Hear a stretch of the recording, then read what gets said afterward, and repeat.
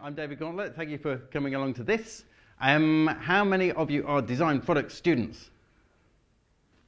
Almost all of you, okay, except for some extra guests. So that's nice. Hello to guests. Hello to design product students. Um, as it happens, I'm the external examiner for information experience design at Royal College of Art. That's a course which you chose not to do because you chose to do design products instead. Um, Charlotte from them is here. Uh, anybody else from IED?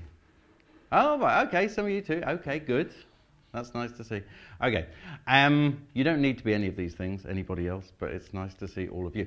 Um, so I was invited here to do a talk about uh, basically Bob, who's interviewing now, so he's not here at this moment. He told me to talk about the kind of stuff that I do and the kind of things I'm interested in for like two thirds or so, or three quarters. And at the end bit, I have to discuss Platform 22 which to some of you sounds like an 80s band, and to some of the rest of you, hopefully, uh, you know what Platform 22 is, which you've invited me to talk about, or which we will talk about together. You know what I mean? Does this make sense to you? Okay, good. Platform 22 is a strange political motion thing sent to me, and I thought sent to everybody else who's talking as part of this series, but it turns out there's been other platforms. They've received platforms 19 and 17 and maybe 12 even all those ones. And I've got 22 for some reason. So uh, we'll be talking about that. I'll show you what it is. Those of you who haven't got a clue what I'm talking about, we'll see this a little bit later on. Um, so I called it this, Making Is Connecting, Designing Experiences and Creative Collaboration, because that was three things that I thought you might like me to talk about, hopefully. Um, so that's me. Uh, that's me on Twitter. I don't know if we have a hashtag for this. I think we don't. But if you'd like to tweet me, uh, with that, and maybe you could inaugurate a hashtag somehow if you're using Twitter. I know Twitter seems very 2008 now, but I still like Twitter. Um, and there's my website there. Look, this is a quick shot of like, if you want to hear more stuff about this kind of stuff, then there's like stuff, okay? So that's where the stuff lives at davidgauntlett.com. But you don't know if you want to know about the stuff yet because I haven't talked about it yet, so now we'll talk about it. The stuff I'm going to talk about, uh, I divided up like this. So there's some stuff about Making is connecting. Let's wish round. Look, making is connecting. I'll talk about that briefly. Triggers. I'm going to explain all of this when we do it. This is the, this is the orientation. This is just starting out so you can find your, your way along the path. Uh, platforms for creativity. I'll tell you what I mean by that. Conversations. Essentially, the long tail, still an interesting thing. Collaborations, there's a bunch of things I could talk about there, which, uh, for, in particular, I've collaborated with Lego for 11 years now on various different things. So you might like that bit. And so I might speed through some earlier bits to get to that bit because I think that's a bit you might like. And Platform 22, that's up there. Those of you who don't know what Platform 22 is, it's up there. You're not going to see the detail now, though. Um, what is Platform 22? I could have started a whole internet meme about it, but I didn't because it wouldn't be of interest to anybody, unfortunately. Um, so, overall, what is this whole thing about? Um, it's about because I did this and it's so it's got these bits. And I think, oh, I need to tell you what the whole thing's about. So then you get your head around that. That's just stuff falling over. The power of everyday creativity, the role of designers within that, um, and how we can make things better. I'm not a product designer. Uh, presumably, on an MA called Design Products, you're probably all quite oriented towards product design. Um, I do, in a sense, design experiences for people to be a part of through which they may design products or design other stuff, or they may not really be designing anything at all, but they're just thinking through the answers to things or mapping out their experiences or trying to make connections between bun- different bunches of stuff. So I'm more familiar with designing experiences than I am with designing actual things, but hopefully, I, I like people making things, so I've got that. So hopefully you can put all together all the useful bits of that to make something useful. Um, so, I did a book in 2011 called Making is Connecting, um, I've done another book since then, but Making is Connecting is still my favourite book that I wrote. that sounds like I cherish and love all of my books. Um, for one thing, it's got the best title. I can say that. I'm not making any claims about the content of the book, but Making is Connecting seems like a good title to me, so I was pleased with that. Um, look, there it is over there. Um, uh, so I'm doing a second edition this year as well. Uh, and it was meant to be about linking together different kinds of creativity and the value of that creativity for people, whether it was online stuff that people were doing or offline stuff that people were doing, or those things meshed together, which often seem to be the most powerful kind of thing, as you can see from that subtitle. Um, the reason why I say making is connecting is for three reasons. So I'll do these bits of making is connecting first of all. Um, I say making is connecting first of all because when we put together ideas or stuff to make something new, making is connecting because when we are creative, when we make things, we put together ideas and stuff to make something new. That's just the putting things together bit. But then secondly, making is connecting because there's always inevitably or almost inevitably a social dimension to any act of creativity. We like to be able to share things with other people. It is possible to be somebody who sits on the top of a mountain making cuckoo clocks and never talking to anybody else, but most normally there's always a social kind of dimension to creativity where we show it or share it to other people and have some kind of interaction around the thing we've made. So that's a powerful bit of it, I think. But the third bit, which I think is even more powerful, is the fact that making is connecting because when we make things, then we feel more connected to the world through participating, not just being a consumer, but being a maker of stuff in the world, stuff which we shape according to our own preferences and tastes, and we make things that we want to make because of personal, the personal drive to make things. I think that's really powerful. And means that if more people are making, basically, then more people feel embedded in the world, participating in the world, and sort of empowered in the world, which I think is a vital thing for us as a planet to, to, leap to the biggest possible scale. I think it's vitally important that people feel engaged and creative in their everyday lives because without that, well, then you essentially don't have a very healthy society. So within Making is Connecting, as I said, I'll just give you a few bits from this.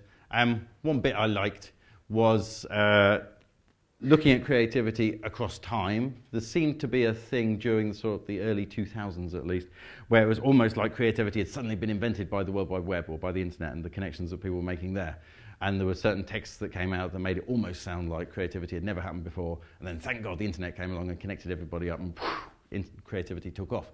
Um, I, I'm, I'm, not actually hostile to those kind of ideas, but I thought it was more interesting to see creativity as part of a continuum which goes across time, because of course people have been creative within their lives for many, many, many tens of thousands of years. That's what people do. It's what people like to do. You could say there was a kind of lull towards the end of the 20th century where human beings in Western societies and other places got used to the idea that the way we spend our time is to sit on some chairs facing a particular other bit of furniture in a different corner, and that's what we do for four or five hours a day. Um, so then it was nice when the internet came along and people, the popular use of the web and social media, as we call it now, um, with people making and doing stuff there, that we seem to be moving away from that kind of television mode where people sit and receive stuff sent to them made by professionals to a mode where people are much more making and sharing stuff between each other. Um, I work in a media and communications kind of department. Um, where you can find no end of people, not only in my department, but in many departments around the country, uh, who like to talk about the, the downsides of all of this, the way in which the internet now gives the state much greater capacity for surveillance, which is true, and the ways in which you can see all the creative stuff that people make online as being basically their like exploited labor creating value, which is extracted by Google et al., who make all the money from it. There's an argument to be made there too. Um, I don't sit within that whole way of talking about things. I sit in a different way of talking about things. Um, because that, that bit I was just talking about there in particular, that's like the economic lens. And if you use that particular economic lens, that is true. That is where the economic value sort of ends up. If you're looking at um, videos that people put freely on YouTube, for example. But I think the interesting thing about people freely putting their videos on YouTube, where they've made some little song or a comedy sketch or some instructions on how to make a thing or how to repair a thing, any of that stuff, they weren't doing it for money reasons. They were doing it for other reasons. They were doing it because they had something that they wanted to communicate with other people, or they wanted to make them smile or laugh, something that maybe they wanted to show to one or two friends and they're just happy if anybody else sees it. They're not doing it for economic reasons. So the economic critique may add up in certain ways, but it ignores the fact that people are making and sharing stuff for other reasons, personal reasons, passion driven kind of reasons, um, which I think is nice and is interesting and which shouldn't be crushed under the wheels of economic analysis. Because you can actually say that both things are happening. It is true that, you know, the economic wealth primarily ends up in the pockets of Google, etc. Nevertheless, there is value, social, creative kind of value, created by people who are just making sharing stuff online, and that's what they like to do, and it inspires them to do more of it. Um, so it's good for them. Going back to that point about going back in time, then, uh, Parker, I liked this when I looked at um, The Subversive Stitch by Rozsika Parker, who's a kind of 1970s feminist, and she wrote a book called The Subversive Stitch. Um, and she talks about clearly this is not about electronic communications any, of any sort. This is about embroidery. She talks about embroidery in this particular case as both a, a, marker of femininity on the one hand, so it's a thing that women did in the past. She's talking about 17th, 18th century women doing embroidery. It was a marker of femininity, yes, but also she calls it a weapon of resistance to the constraints associated with that idea of femininity, so that women could kind of take time to carve out a space to do their own thing, create a self-initiated project essentially, which they started up themselves, and which they, they're sort of allowed time to do that because it's known that that's what they're doing, so they can be doing that. And so it's space away from all of the other stuff in their lives where they can just be focused on that and take it through to completion. Um, carve out a, a, place for personal thought and self expression, as she says there. And then you've got this quote here, right? Um, I'll read it out what it says here first. The experience of embroidering and the embroidery affirms the self as a being with agency, acceptability, and potency. The embroiderer sees a positive reflection of herself in her work and importantly, in the reception of her work by others. And then if you swizz that around so you apply it to any other kind of activity, say on social media, say if you take something quite ordinary like blogging, then if you turn it into blogging, you've got the experience of uh, blogging and the blog affirms the self as a being with agency, acceptability, and potency. oh, yeah, that's true. Uh, the blogger sees a positive reflection of themselves in their work, and importantly, in the reception of their work by others. That is true. That is blogging. That is why people like to do blogging. That's why people continue to do blogging, even when in an age where people start going, "Oh, blog's dead," etc. Um, it's the reason why we make and share lots of things online. I think there's that sense of self, the sort of powerful self that's made something, and other people see the thing you've made, and they like it. Hopefully, if they don't, you essentially don't want to hear from them. But uh, if they do like it, or some number of people like it, that feels good. Um, and that sort of positive reflection in yourself in, a, in the fact that you made it yourself, and B, in the reception of that work by other people. I think that is key. Um, and that was about embroidery, not about social media. Um, that's John Ruskin, nine, uh, Victorian eminent art critic kind of guy, uh, who in the early part of his career was quite establishment. You probably know about John Ruskin. Um, and then went increasingly bonkers and alienated from the art world. Uh, because he had his own particular individualistic take on the power of making, and he thought the power of making should be important for everybody, which put him at odds with the sort of elitist art world at the time. Um, so, just to give one example of that, John Ruskin gets very excited about um, the gargoyles on medieval cathedrals. You've seen gargoyles on medieval cathedrals. Um, in art world terms, well, then they're kind of ugly, unfinished, not the kind of thing that's normally celebrated in the art world, even then. But John Ruskin loved them, so I love him for loving them, because he liked them because within them you can see the spirit of an individual maker. These were essentially made by people who were working on what is the corporate project of making a cathedral. Um, and within that work, they carved out the space to do their own personal little bit, which is just based on their own idea, their own design, doing the thing that they want to do, um, driven by personal passion. Um, he, calls, he calls it a celebration of humanity's imperfections. It's not dependent on anyone's permission, really. It was okay for them to do this, but they didn't have to pass designs past anybody else or get a kind of thumbs up from anybody else. So it's personal, passion-driven thing. Um, and I like a celebration of humanity's imperfections. And then if you apply that kind of model to, say, YouTube, um, well, then again, you've got unfinished, sometimes a bit ugly, sometimes a bit baffling kind of stuff, which doesn't look like conventional television, but is interesting and powerful for those people who it speaks to because, because of its unfinished nature, it's just the spirit of a, a person that wants to communicate something in the world, has got something they want to express, and they're going to express it anyway, regardless of whether it lines up with the most finally finished models of how you ought to be doing things. So it's that personal passion to make things, uh, which Ruskin thought was vital for a society, vital for its health, and I think that's right. Um, and inspired William Morris. You know about William Morris probably, and I'll zwish forward here. The other person who's a key figure in Making is Connecting uh, again, digging up people from the past to make them relevant to today's, in particular, digital sharing kind of culture, is Ivan Illich. So Ivan Illich was a sort of 1970s, or popular in the 1970s, uh, philosopher guy who was famous for a book called Deschooling Society. Um, after that one, he did a book called Tools for Conviviality. And within that, he says many interesting things, but this is just one interesting thing. Um, he says people need not only to obtain things, so it's not just about things, so note that, design product students. Uh, they need above all the freedom to make the things among which they can live, to give shape to them according to their own tastes, and to put them to use in caring for and about others. So it's about being able to create, create your own environment, create your own things, uh, which are of service to you, which maybe communicate something of yourself and your passions and your likes uh, within the world in which you live.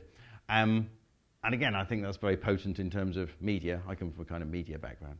Um, very potent in terms of media because if it's about people making things that communicate something of themselves, which shape, uh, made according to their own tastes and so on, that's much, much more powerful and exciting than any of the s- stuff you can talk about television, cinema, big stuff made by professionals away over there. I like stuff made by ordinary people, not by the professionals over there.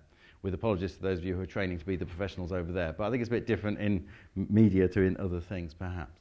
Um, so that was that. And then just the little bird in the making is connecting bit. The little bird is there to remind me um, that it's not just, I always remember the phrase goes, it's not just, and I have to remember what my point is about the little bird. It's not just, um, it, sorry, the point of my little bird is to remind me that um, when you come from a context like I come from, which is media communication studies, right, well then you work with people who are working on things like regulations for Ofcom, and they're talking about the future of the BBC and all these big corporate kind of things. And then here I am studying things like um, a girl who's made a video about a scarf, and somebody who's made a funny little video, and somebody who's managed to compose a song which they wanted to share with two or three other people, and it went viral to like 300 people. Small numbers, insignificant sounding stuff if you come from that kind of context. I think it's really important, powerful stuff because where you've got people making things just because it's what they want to do, not because they're doing it for qualification, not because they're doing it for money, not because they're doing it because somebody else told them they got to do it for some other weird reason, but because it's just what they want to do. I think that's a really powerful driver of uh, potentially political movement within a society and of engagement and people feeling alive within the places where they live, which is very important, I think. Um, that's what the pretty little bird is doing up the tree, anyway. Um, so that was the bit about making us connecting. And so in that, that was a, a, book. And within that book, I managed to sum up some of those things that I was interested in. And so then beyond that, well, then I've done other things and made connections with other things. The uh, more recent thing I've been thinking about, or one thing I've been thinking about, is this idea of triggers. So media or environments or things or events as triggers for experiences and for making things happen, which is kind of borrowed from uh, Brian Eno quote, which itself is borrowed from something that Roy Ascott said when Roy Ascott taught Brian Eno at Ipswich College of Art. Um, when they talked about art as a trigger for experiences and a trigger for making things happen. Um, and I think you can think about media and things, even more broadly than art, just anything that you might be designing, in that sense as a trigger for causing things to happen in the world, a trigger for people being inspired or having conversations with other people or wanting to make other things. I think that's a powerful way of thinking about it. Um, I had a few examples about this, and then I thought that's going to be too many examples, so I killed them all off except for this one, because this is my favourite one. Um, this is in Belgium, right? I was on holiday in a strange corner of Belgium. Belgium isn't so big that you can be too lost in Belgium, but I was in like the most empty corner of Belgium. Um, but I saw a leaflet for a place called Klankenbos, which I obviously liked because it sounded like a Kraftwerk album, basically. But um, I just happened to see this leaflet and thought, Klankenbos sounds cool, let's go and see it. Um, so I went with my kids, and it was very nice because it was a sculpture park. You've seen sculpture parks before, but it was a sculpture park for sound art. So essentially, you walk through a forest, and every so often you come across something that probably makes some kind of sound or engages with sound in some kind of way, as well as often being an interesting kind of object. So that was really nice. For one thing, it's just like a nice walk, interspersed with interesting, thought provoking things. Um, it was unusual and different. I, I really liked it. This is the best bit, I thought, because you kind of come into a clearing, and in the middle of, it's not a big clearing, but a sort of clearing, in the middle of this clearing, on a slight tomb, is this glass box. So you think, what's that? Um, and it doesn't really look like something that's going to make a sound.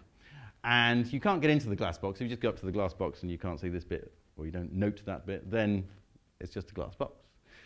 But if you come over here, that steps down into a tunnel. I don't know if your eyes can make sense of this, but that steps down into an underground passage, which takes you a few meters along, and then you can come up inside the box. So it's a way of entering the box. Um, and inside the box, it's a completely soundproof box. so you can't hear anything. So the experience of sound which you get in this forest when you're inside the box is the experience of silence, which is very interesting in an environment where normally there's quite a lot of low-level ambient sound going on, which probably you don't think too much about. You do think about it when you can't hear it. Um, so I thought that was really nice. Uh, and as, as, a, as a trigger for thought, at least, it, it kind of really stuck with me. And so, you know, this, in a sense, this could be any artwork that I happen to encounter if it was a really good, striking one. But I really like this one. Really stuck with me for some reason and has been a trigger for other thoughts for me. Um, so then, related to that and borrowing some of those words, this is a bit which I wrote in the more recent book that I did, which was called Making Media Studies, um, where again, with making is connecting, I kind of made it sound like you didn't need to read the book because you could just look at the three words and it kind of gave you the basic idea. Uh, with this one, I'm saying you don't need to read the whole book because you can just look at this because this was the best bit. And so it's like on page 15, and I put a box around it so you could tell it was important. Um, so again, I, I, shouldn't shoot whole books in the foot in this way, but there you go. Um, this one says this is about how we think about media. Um, but I think of me, if you're thinking, why is he talking about media? We're not here to talk about media. But I think of media in the extreme plural, where media is the plural word for medium, obviously. And a medium can be anything. It can be a stick. It can be charcoal. It can be television, radio, computers, things with screens, but it can be anything at all. Um, so we've got this. We should look at media not as channels, which is common or for communicating messages, not as things, but think of them as triggers for experiences of making things happen. That's that bit. They can be places of conversation, exchange, and transformation. So, three things conversation, people exchanging ideas, exchange, where I'm kind of using the word exchange instead of the more uh, popular word share, which has been ruined by Mark Zuckerberg talking nauseatingly about people sharing things, uh, where actually what he means is putting things on Facebook, which isn't quite the same, I think, as the actual human act of sharing, which I used to know before Facebook was invented um, where I thought it was about sort of giving something of yourself, having a sort of shared experience within your mind and the mind of another person as you share a thing. That's the sort of nice version of sharing, which is not exactly the same as just sticking a link to a funny article on Facebook or something, is it? Um, so maybe we have to call it exchange now, just to avoid using the word share, even though the word share is probably nicer, but exchange is all right. And then transformation, as in actually changing people through doing these things which must be the whole point of any of the things that you do, where you're hoping there's going to be some kind of change in the world. Um, in terms of media, there's so much of it. Media in the world means a fantastically messy set of networks filled with millions of sparks, some igniting new meanings, ideas, and passions, and some just fading away. So it's kind of saying that there's so much stuff in the world now. Certain random bits might be really important and might fire off all kinds of exciting new potentials, but we don't normally know which ones those ones are going to be. And then there's like millions of other ones as well. And we don't have to worry about all of them because there's too many of them these days. Um, but the really powerful ones are the ones that do ignite new meanings, ideas, and passions. You don't have to worry about the other ones. Um, so that was that bit, which was about the triggers. Then uh, another thing I think about these days is platforms for creativity, which is this is the bit that's kind of about designing environments because it's about the idea of setting up situations in which people can be creative. So you're probably familiar with the word platforms as that word which describes things like YouTube, Facebook, uh, other kind of social media places, Instagram, where people come together to share things electronically. I'm taking it much broader than that to be essentially anything, which can be big or small, um, and can be online or offline or both, uh, where people are receive some kind of invitation to come in and do a thing. And it's the invitation in particular is central to the platform, I think. So this, for example, is uh, a library space thing in Gouda, which they invited me along to because they'd read Making is Connecting and they thought it was about that, so that's good. Um, this is their little diagram for it. I've added on the yellow stuff, but it's called Chocolate Factory in Gouda. Gouda, the home of the popular yellow cheese. You know, it's round, it's yellow, it's a cheese. That one, Gouda.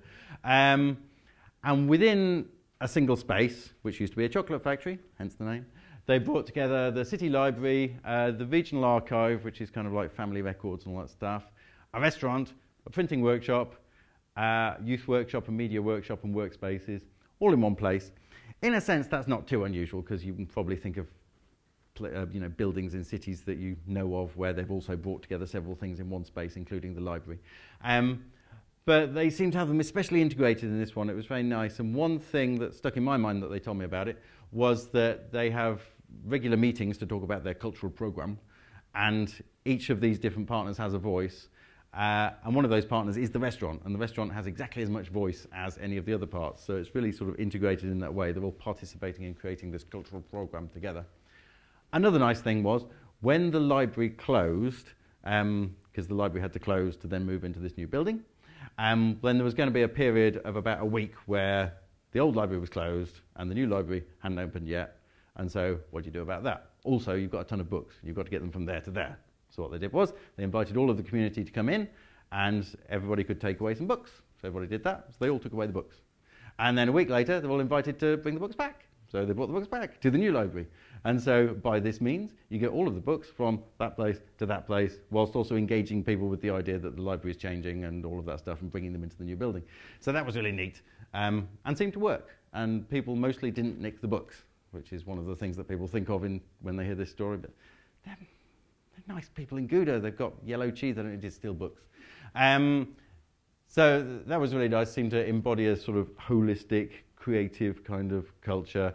The idea was that uh, a library, in this new way of thinking about it, is not a repository of expertise from the past. People have learnt stuff and written it down in books and put it in a library. The idea is that the library is a platform for people to be creative within, within a community, people to come together, make stuff, and you can, for one thing, the library is a kind of showcase for that, and everybody can see what everybody else is doing uh, in a positive, sharing kind of way. Um, so I like that one. Then there's uh, other examples. That's the Chicago library system is also embracing this idea of libraries and makerspaces and so on. Um, Minecraft, say, is a creative platform where people can come together and do that kind of stuff. Um, that's uh, talking about those kind of things in Lego. How do you make one of these kind of platforms work? I've made a few rules. Um, I've sort of written a list of principles for why this should be, and these are the, some of the best ones. Um, embrace that thing that it's what people want to do already. So if there's people in society who want to be creating, which of course there are, many people, in a sense I think everybody, at some point had that need or that urge, um, then you should embrace that, people's natural propensity, rather than trying to make them do other things. Some of the items on this list come from the fact that I worked with the BBC on a virtual world thing that they were creating for children. And essentially, it was like they thought, oh, we're brilliant. We've created this amazing virtual world. It kind of seemed like the BBC had created a 3D virtual world for children so they could go, go yeah, so they could go to the Cannes Media Festival and tell other media professionals that they created a virtual world for children, rather than actually being that bothered about the actual children uh, who are mere pawns in this game. Um, and and so they'd sort of designed this whole kind of thing, and the idea was that children would sort of buy into this BBC created world and would do things that the BBC hoped that they would do within this world. And it was kind of going against the grain of what kids actually wanted to be doing on a thing like this. So it was okay, but it didn't really take off. Something like Minecraft totally takes off, because it enables kids to do whatever they want to do, or anybody else to do whatever they fancy doing, um, without trying to force them into some kind of particular premeditated kind of thing, which was the mistake they made there, I think. Uh, one example of one that works is the Global Cardboard Challenge. You may know of this. It's a thing that takes place around the world now, um, inspired by a video called Caine's Arcade, which went viral, which I don't think I've got the time to tell you the story of now, and anyway, it makes me cry. So if you want to know what video makes me cry, you can look up the Caine's Arcade video. Um, just put Caine's Arcade into Google. It's the story of a nine-year-old boy who made an arcade out of cardboard. There we go. See, I managed to tell you that much without crying. Um, it's nice. Uh, and because that video went viral, they put a little link at the end. So I'm not telling you about the video, but I'm telling you what they put at the end, which was a little link saying if you want to donate to Caine's college fund, he was a nine-year-old boy, he made an arcade out of cardboard, then you can. Um, and people loved the video so much that they immediately raised like $5 million in the space of about 10 days, which was highly unexpected. Um, and so then, in a sense, you've got the question of, oh God, what do I do with $5 million? I hadn't really expected getting that, just because I made a video that went viral on YouTube. Um, and so they set up an educational foundation called the Imagination Foundation, which now runs a thing called the Global Cardboard Challenge on a date that celebrates the thing that Caine did and gets everybody else making a thing in cardboard. The point about this is, um, it's just a thing that invites people to make something out of cardboard on a day. You could say, that's not an idea. That doesn't sound like anything. We could all make a thing out of cardboard in our kitchens this evening. Um, because of the people who you are, maybe you will actually do that. Most people don't do that. The thing about why this is successful, I guess, is because it just contains an invitation to do a thing that other people are doing. So anybody can make something out of cardboard and put some pictures of it online if they want to, but they don't. The thing that means that on this day they do is because they're being invited to take part in some kind of global celebration of creativity, and people like that idea and they like being able to see what other people have done. And so, because of that, then it becomes a thing. So, a thing that essentially sounds like not an idea becomes a big global phenomenon. Because of the nature of the invitation, the way in which you can understand what it is, it connects with something quite emotional and, and heartwarming, and for that reason, manages to take off, I think. Um, and also, a simple explanation of how this takes off comes from again, this feeds back to my work with Lego, where within Lego they have an idea which I think has its origins with Mitch Resnick at MIT. Mitch Resnick has also worked with Lego, and he invented Scratch, the programming language you might know about, and he helped them work on Lego Mindstorms, which is the Lego robotics system. Um, he talks about experiences which have a low floor, high ceiling, and wide walls. What does this mean? The low floor means it's really easy to step into, so it's an experience where it's just like kind of obvious what you can do with it, it's straightforward. So for example, Lego, I give you a bunch of Lego, it's quite easy to just go click, click, click, you start doing things. Very low floor for stepping into it. Um, then it's got a high ceiling because you could then take that to any level of complexity, so you can quite quickly be making, well, if you've got enough bricks at least, very complex things. You could be making the most complicated, uh, you know, spaceships, rockets, or architecture, or whatever. But there's also wide walls, which means you don't need to be making spaceships, rockets, or architecture. You could be making forests, or rabbits, or parrots, or any other noun that I could put into this sentence, chairs, donuts, whatever, Wellington boots, out of Lego, because you can make anything out of Lego. So it's got that wide walls. So easy to step into, complex, endless variety, that is low floor, high ceiling, wide walls. And that seems to be a good model to follow if you're trying to set up an experience which people can step into easily but then engage with in different ways. So you can apply it to lots of different things, obviously. I also say support storytelling. People love to share stories, uh, where story can mean anything, just basically uh, uh, the tale of an experience of something that happened to me or the experience of something that happened to somebody else.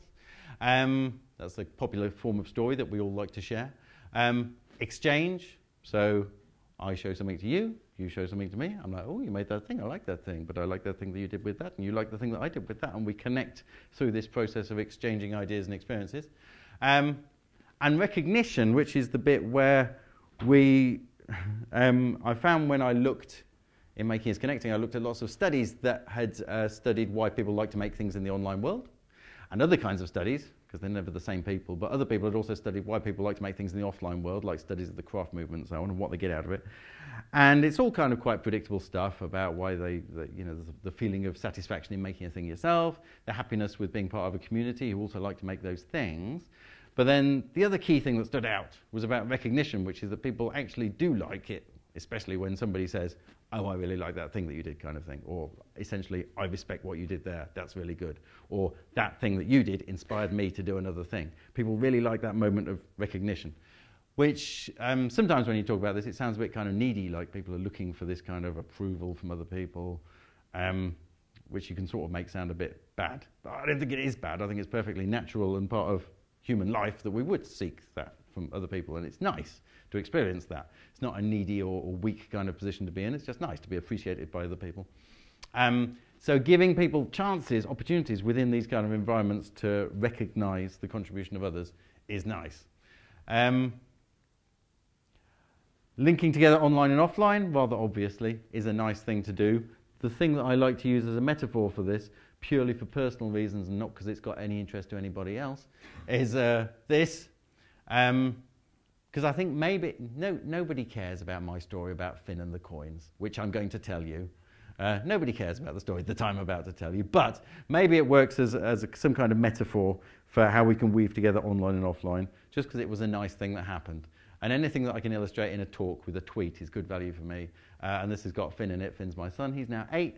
Um, we've also got Edie, age four. She doesn't feature in any anecdotes during this talk, but I'll make up for that at some other point in her life. She's not going to know. Um, so here we go. This was, um, how does the story go? The story goes, um, I'm in my house. It's about 7.30 in the morning. Finn comes downstairs and says, uh, have we got any of those foreign coins that you always find when you're looking for socks? And we go, oh, well, you always find those foreign coins when you're looking for socks, so let's just go and look in some drawers. We look in the drawers. What we find in the drawers is socks, uh, and not the foreign coins that you normally always find when you're looking for socks. So that was disappointing. Um, so Finn wanted to see some foreign coins. Foreign coins, interesting thing. When you ate all those coins from different countries, blah, blah, blah.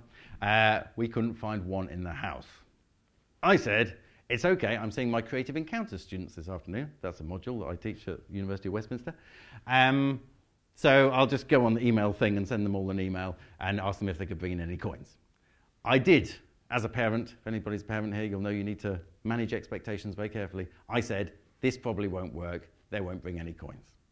But they might. You can already see from up here, you can see how this story is going to go, so ignore that. Um, so that was that. So I sent out this message, and then I went along to university, and we started the class, and I said, oh, did anybody get the message about the coins? And they all piled in lots and lots of coins. This was, this was the start of it. There's actually a few more arrived a bit later on as well. Um, and so lots of coins, many different coins, coins with wobbly edges, coins in different colors, coins with a different colored circle in the middle to the outer circle. Fascinating these coins are when you're eight. And I, I like them too. It was nice to see the coins. Um, so then uh, one thing is I take a picture of the coins because I'm pleased that this has happened and I tweet about that. Also, I obviously take the coins home to Finn. Finn's pleased to get the coins. Finn writes them a thank you letter. So there's the thank you letter. Dear students, thank you for all the coins. It was very kind. Love from Finn. Kiss, kiss, kiss. He was only seven when he wrote this. Isn't that nice handwriting? Yes. See, I, I told you this was of no interest to you, but is heartwarming for me. Um, so there's that bit. And so then I tweet that as well along with that. And so then uh, other people like this thing, and it was heartwarming for the entire world. Um, this is a weaving together of offline and online things. So you've got the bit where you've got the clearly offline bit where we're hunting through drawers for coins. You've got the more digital bit where I have to communicate with some students to ask them to bring in coins. Then we're back in the offline world where we actually get the coins. Then we have an online bit where I tweet about it. Then we have an offline bit where I take it back to Finn. Finn's pleased. He creates a message that's written on paper. That's still an offline bit, but then I tweet about it, which is an online bit. And then, uh, then other people like that online and share that bit as well. So that's another online bit. So various online and offline bits all woven together nicely.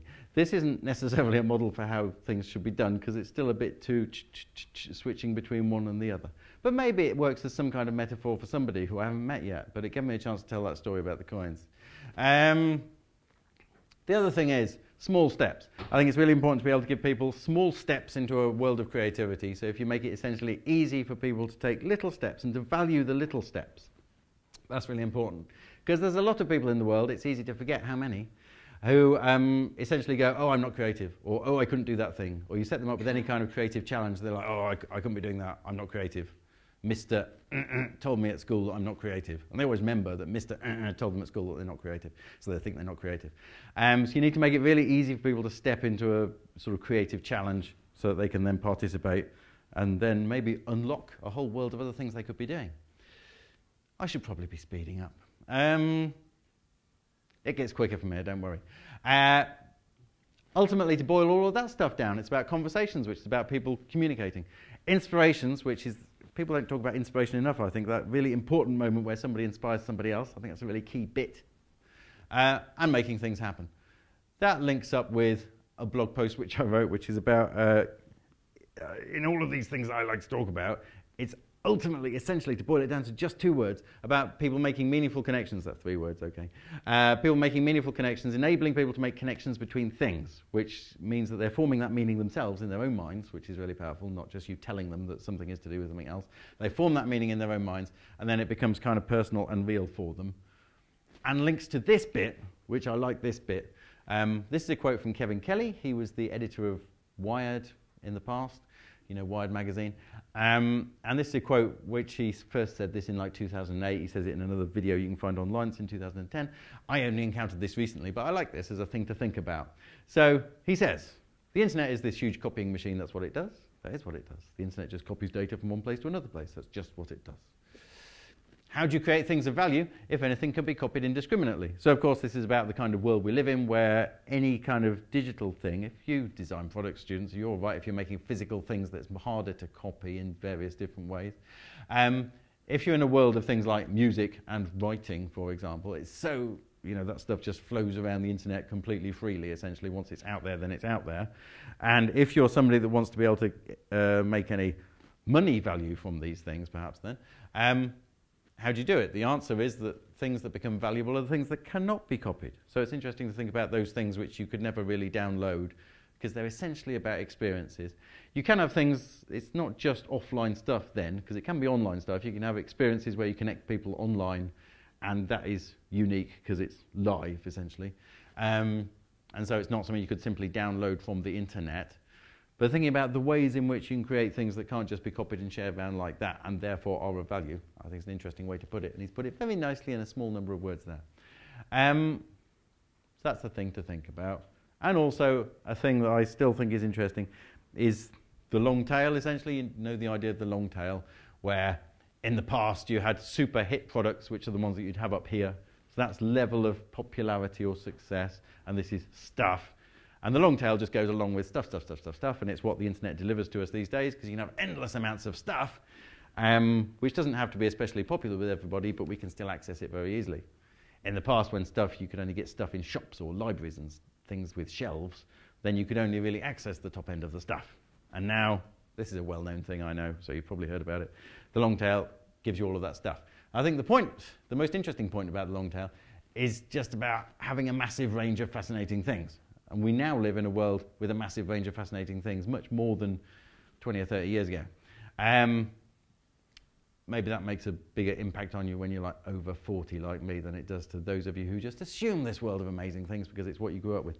But um, the other bit about it, I suppose, is that those things don't need to be polished and we can value those things that are not polished. So in the past, it was all about polished stuff because it's always gone through lots of production processes and editors and publishers and all that kind of thing.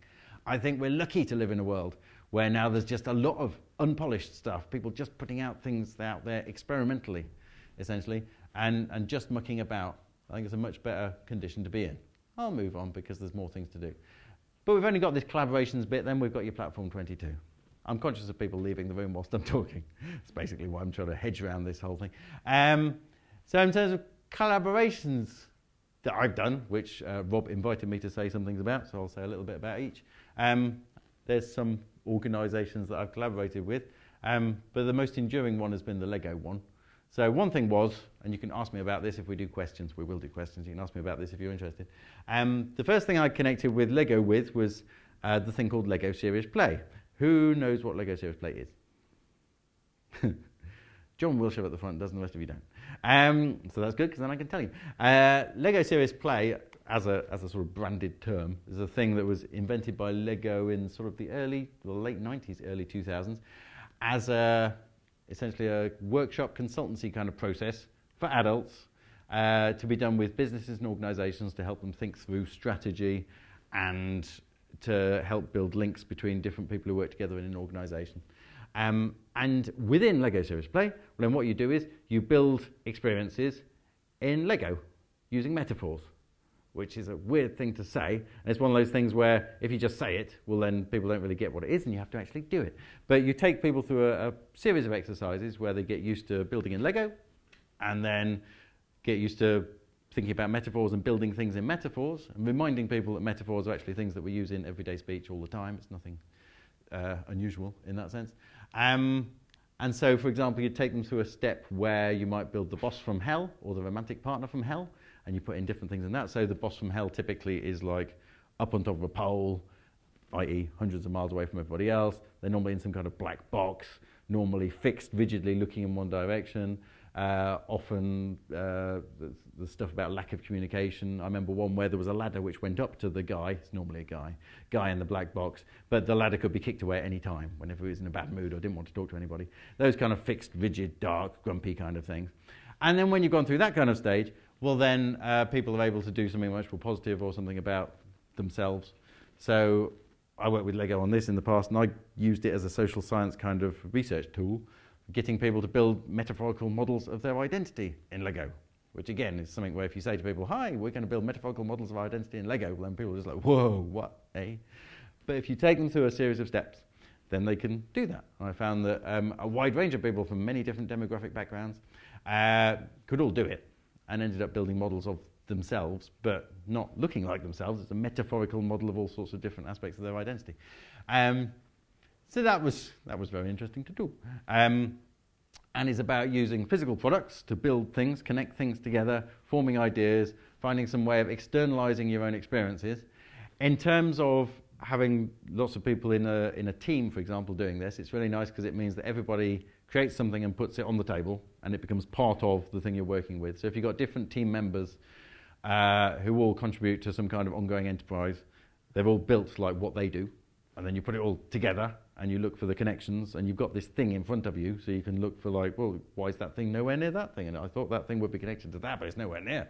Or other things that sort of surprisingly similar that you can connect up. You've got this physical thing to work with and everybody has a voice because they all created a thing and it's all part of the thing that you're talking about so it's not like those meetings where you know there's normally somebody who talks quite a lot and there's normally some people who don't talk very much at all um, because everybody's created a physical thing it's just there and it, and you remember the story that people have told about it because it's a physical thing. So there's something very interesting about the, the thinginess of the project, the, the actual products that people have made, where you remember the story they've told because it's this personal thing that contains these personal details. They tell you about all the different things that are within it. Um, and it seemed like a really powerful process. So one thing I did with Lego was that, working on Lego Serious Play. Then um, I became part of the thing called the Lego Learning Institute, where we did lots of different things, which at one point they put together on a wall chart, which now I stuck up here to show all the different things we did. But we essentially did reports about creativity and play and learning and called things like the future of learning and the future of play. Um, so that was a string of different stuff. And then that became part of the Lego Foundation. The Lego Learning Institute became part of the Lego Foundation. Uh, Lego Foundation owns a quarter of the Lego company, which these days means it's extremely wealthy because uh, Lego is doing incredibly well, as you may or may not know. Um, Lego had a bit of a downturn in the about 10 years ago or more. Um, but ever since like we started having that recession around 2008 and all that bad stuff financially, turns out people still really want to buy Lego, and Lego has gone done really well. Uh, also, because the products are better now and they stopped doing some stupid stuff that they were doing and focused more on the essential idea of the brick. Um, so that's a, a, nice model that we created about culture and how making, you've got these different elements, having, doing, being, and knowing. These are the different elements of a culture. And if you've got a creative culture, it has these different parts to it. Um, and these are the different sort of areas which are then connected by activities. The activities are making, sharing, playing, and thinking. Um, that's just going to flash past while I move on to something else, but that might be worth looking at if you're interested. Another thing when you work with Lego is that you can always just talk about the Lego stuff with the Lego people. And so I can talk endlessly, literally, uh, about things like Lego Friends. Uh, if we had a spare three weeks, we could just debate Lego Friends forever. Um, and in terms of Platform 22, which we're coming to in a moment, about morals, consumerism, those kind of ethics, those kind of questions. Um, I, I, don't think this is an immoral product. I think this is a nice product. In fact, this particular one, uh, that's Olivia's treehouse, I believe. I bought that for Finn when he was about four, um, which seemed good because he was a boy. So no, nobody could accuse you of gender stereotyping because it's a, it's a nice construction. It's a construction toy. It's more made of actual Lego. So all the Lego Friends stuff is made of actual Lego. So if you think that construction toys are a good thing, and getting girls into construction toys is a good thing, which we probably do all agree on, then, uh, then Lego Friends should be good. But then everybody goes, yeah, but it's got pink in it. And then you get into the whole question of, yeah, but that's a color. How can you say that? Is a color sexist? Is pink a bad thing? I like pink. how, could you know, I talk endlessly about the color pink uh, and, and why it may or may not be wrong. And then you've also got arguments to be had about the different kind of products that they make, which include things like uh, um, you know, Emma's Science Lab as well as uh, you know, Claire's hairdressing salon. I tend to mention more often the science lab and the design workshop and those kinds of things. Then people go, yeah, but she's a, fi- she's a fashion designer. That's sexist. It's like, yeah, but being a fashion designer is an actual job. This can go on forever, these kind of things. Being a fashion designer is a professional job for people to have. That's not a bad thing. Or is it a bad thing because it's for girls? Okay. Uh, platform 22. So, design product students, you wanted to talk about Platform 22. So I was invited to say something about this, so I will, but then I'm interested to see what you think about it. So who wrote this? Is the person who wrote this in the room? Or any number of you that wrote this? Was this written by students? Yeah. yeah. Together you wrote this? Is that right? No. You're like, half of you are fleeing the room, and the other half are like, no, it's nothing to do with us, we don't know. But um, it, it's this anyway, so I'll, I'll, I'll just pretend I found this. You don't need to say who's responsible for it. Um, it was an interesting thing to have to respond to. Um, it, it, it's written in essentially an angry style, which I like because it means you're trying to provoke something. Um, it may be slightly contradictory, um, but that's good too. Um, so it says the mobilistic high road that leads to shattered dreams. I think the mobilistic high road is, uh, I think that refers to like the desire to do good stuff in the world, and the shattered dreams are being crushed under the wheels of evil capitalism. I think that's the, the gist of it. It says here, with lots of fascinating words integrity, moral courage, capitalist ruling, fetishistic cornucopia of pointless products, social conditioning. And that's just an introduction. Um, so, this bit, right? So, our designers, I'm reminding you of it now because you don't seem to be deeply familiar with it. Uh, no one's quite sure where it came from, as far as I can tell. Uh, our designers puppets of a larger system that at the same time feeds us and yet fucks us over constantly? Um, I, I get the hint from that sentence that the answer is believed to be yes, that is the case. We're caught up in a vast and vicious economic system that can force us to sacrifice our values as designers. Our aim is to discuss if this is avoidable in the future. Um, by the application of moral courage, where moral courage is a good thing, and whether design principles even matter anyway, which seems like a sudden sort of miserable bit thrown onto the end of what could have been a potentially quite positive sentence. Um, I, the simple answer to this is, if you're asking me, which apparently you are in this case, uh, yes, it is avoidable, uh, and you do need to apply the moral courage.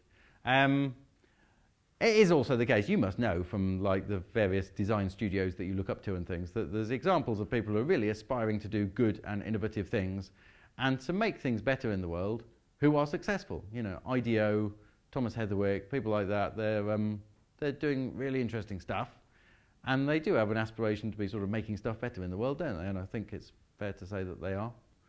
Um, my brain is being vaguely troubled by something negative about Thomas Heatherwick, but I can't remember what it was now. But something, uh, somebody pointed out that he was horribly what? Bridge. The Garden Bridge. The Garden Bridge. That's all to do with politics and Boris and stuff, though, isn't it? The basic idea of the pretty bridge is still it's still a very pretty bridge. uh, whether that's all, yeah, okay. We're not going to get into the whole Garden Bridge thing. If you want to look up what the Garden Bridge controversy is, if you haven't got a talk, haven't got any idea what we're talking about, look that up on the Google. Um, I think there are people who aspire to be doing interesting stuff, though, and aspire to be doing it in essentially an ethical kind of way, uh, give or take planning regulations. Um, it says here we want to explore the relationship between honest design. Um, all, all, the positive words have been crossed out for some reason. honest design, namely upholding moral values and success in the consumerist dog eat dog society we live in. Do you have to fuck people over to be successful and influential? Sure, I think not. There are some people who um, obviously do this, and there's always endless anecdotes about um, essentially people fucking other people over in order to be successful. You do get those, and they become memorable stories. But the fact they become memorable stories probably goes to show that it's not what's always happening. Otherwise, it'd just be so normal we wouldn't be sharing those stories. Um, is it possible to run an honest business and still become authoritative leaders? It's obviously a challenge. that is true. It says here, on the one hand, we want to investigate whether moral values can be embedded and communicated through objects. So I'd like to hear from you whether you've managed that. And if this affects the role of the designer in the future. On the other hand, we will discuss whether designers can be leaders in shaping more ethical businesses. Surely you think, design product students, that designers can be leaders in shaping more ethical businesses. So thankfully that one answers itself. Um, and you do get examples, don't you, of people who are working, inevitably you're kind of compromised. If you're working within some kind of capitalist thing, if you're running a business, there's some level of compromise. You do need to be making money and so on. And then within that, you're struggling to sort of do the best you can in order to be ethical and to not destroy the environment, all those kind of things. There's always a tension. But I think uh, clearly people do strive to do that, and I think some people do it reasonably well. It says here, some of I'm just making sure we've gone through it because I've got a contractual responsibility to talk about this. Uh, some of our references and discussion points include uh, beyond the search and uh, beyond the new search for ideals. Hopefully you've read that.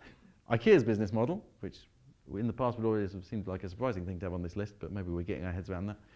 Um, and that quote from Philippe Starck. Today we see very talented, intelligent designers who use their skills to create useless stuff, which are developed not to help people, but just to make money, essentially. Um, and then again, we can immediately launch back into the whole debate about Lego and Lego friends and should you be making more bricks in the world and whether these things are sexist products or whether it's really good because you're getting people to make stuff with their hands and encouraging them to be creative, for example. Um, my thoughts about this were essentially, I parked him over here. Um, I was asked to comment on this, so don't blame me. Uh, my thoughts were this.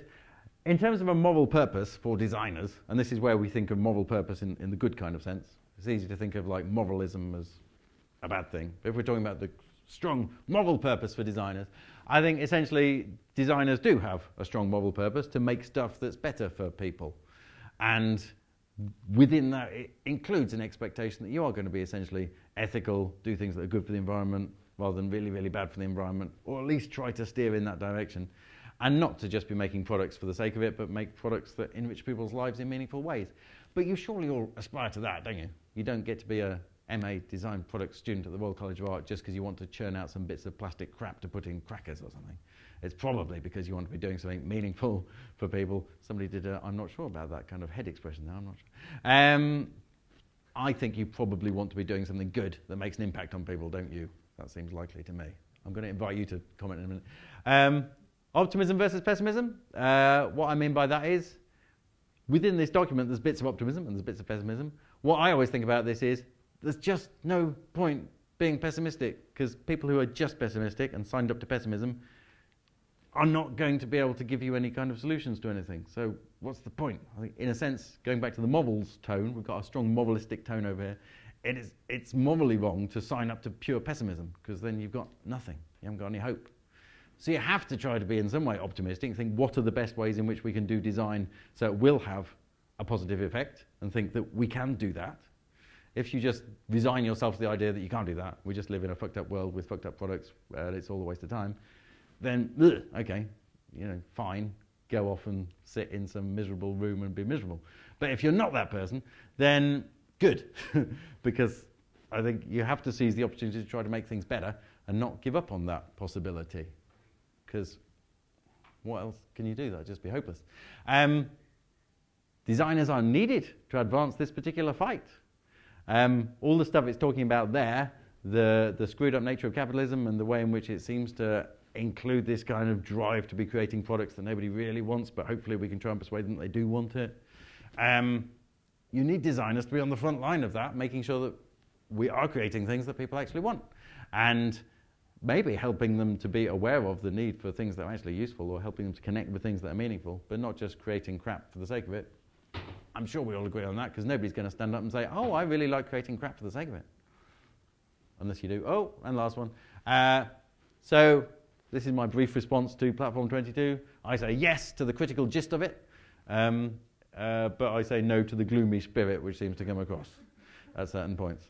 Um, and that's not just to be argumentative or something. I think it's important to stick with the optimism that we can change things, we can make things better.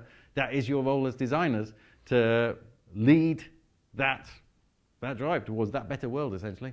Um, that's what you're here for. So, that's all I've got to say.